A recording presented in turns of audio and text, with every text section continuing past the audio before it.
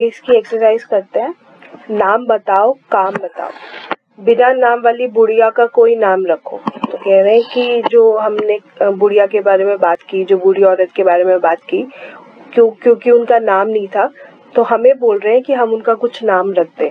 तो आपको जो नाम पसंद है ना, आप वो नाम रख दो इनका, चाहे तो आप कटरीना रख दो, ठीक है? जो नाम आपको पसंद है, आप वो, आप नाम रख सकते हैं। हम रख देते हैं रेखा। हम रख देते हैं रेखा नाम, ठीक है? तो जो हमारी बुढ़िया थी, हमने रख दिया रेखा। आपका जो मन करे, आप वो नाम रख सकते हो। आगे, वह दिन भर खाली रहती थी, उन, उसके लिए कुछ काम सुझाओ। तो जो बुढ़िया की हमने बात की, उसमें वो ये था ना कि वो कुछ काम नहीं करती थी, इसलिए आराम भी नहीं करती थी। तो कह रहे हैं कि वो पूरा दिन खाली रहती थी तो उनके लिए कुछ काम बता दो ताकि वो कर ले। तो क्या क्या काम कर सकती है?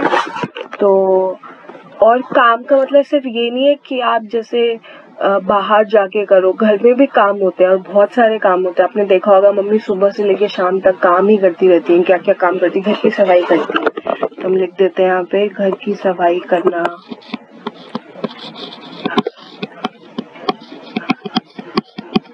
घर की सफ़ाई, है ना? खाना बनाना।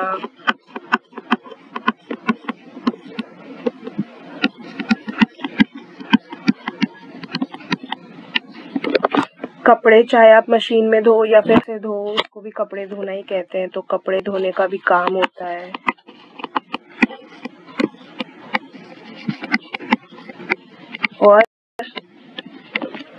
मम्मी आपका, मम्मी पापा जो होते हैं, वो आपका भी ख्याल रखते हैं तो बच्चों का ख्याल रखना।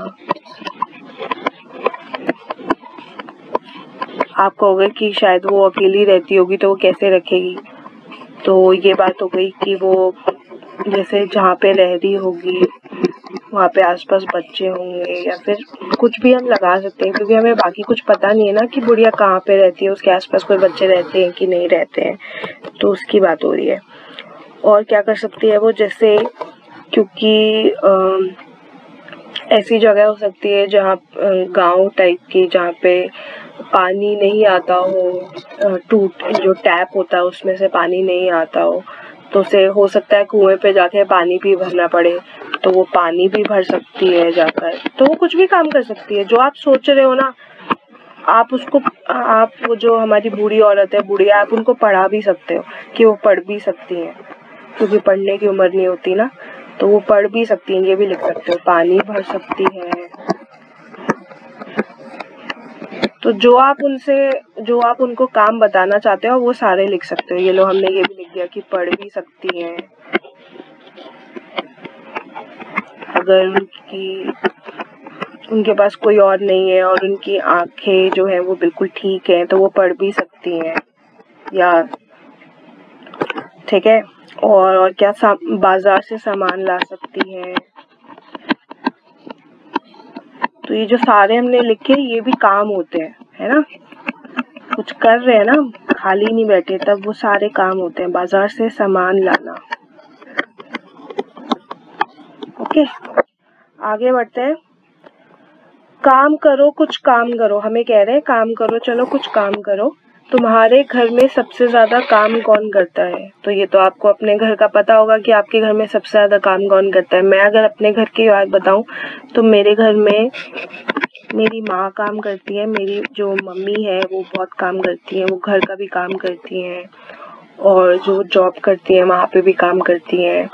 सेम पापा है, पापा भी बहुत काम करते हैं, वो भी घर पे बहुत हेल्प करते हैं मम्मा की और ऑफ़िस तो जाते ही हैं वो तो मम्मा पापा बहुत ज़्यादा काम करते हैं। अब सबसे जो इंटरेस्टिंग क्वेश्चन है वो अब आया है। वो क्या है? तुम्हारे घर में सबसे ज़्यादा आराम कौन करता है? अगर ऐसे ही देखा जाए तो कि आप अभी छोटे छोटे बच्चे हो, है ना? तो आपको ज़्यादा काम तो होता नहीं होगा। आपको बस स्कूल का काम करना होता होगा, फिर आप खेलते होंगे या अपनी जो भी आपको पसंद है वो करते होंगे, है ना? तो जो पसंद वाली चीज़ हम जब करते हैं तो वो भी तो ऐसे हम आराम में लगा सकते हैं ना, क्योंकि पसंद है वो इसलिए कर रहे हैं हम। अच्छा लग रहा है हमें वो करने में। जैसे आराम करने में अच्छा लगता है। तो आराम करने में मैं लिख सकती हूँ कि मैं खुद भी आराम करती हूँ।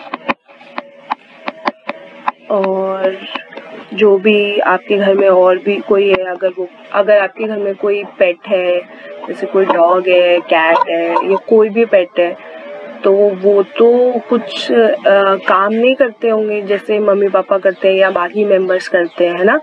तो वो झाड़ू नहीं लगाते होंगे या फिर वो कपड़े नहीं धोते होंगे तो ये सारी चीज़ें तो उनको करनी नहीं होती है तो आप उनका नाम भी लिख सकते हो कि वो भी मेरी तरह आराम करते हैं। तो आप यहाँ पे किसी का भी नाम लिख सकते हो। जैसे हम लिख देते हैं जैसे मैं आराम करती हूँ, वैसे मेरा भाई भी आराम करता है। जो हमें नहीं करना चाहिए तो जितने मेंबर्स हैं, अगर साथ में मिलके हम सब काम करेंगे तो काम जल्दी से फिनिश हो जाएगा और कोई ज़्यादा थकेगा भी नहीं और फिर हम साथ में मिलके आराम भी कर सकते हैं। तो ये हमारा छोटा सा चैप्टर था और हमने ये फिनिश भी कर दिया है। और पार्ट का नाम था एक बुढ़िया। और जो कॉपी में लिखना होगा, वो मैं आपको अभी सेंड कर दूँगी वर्कशीट के साथ। That's it for the class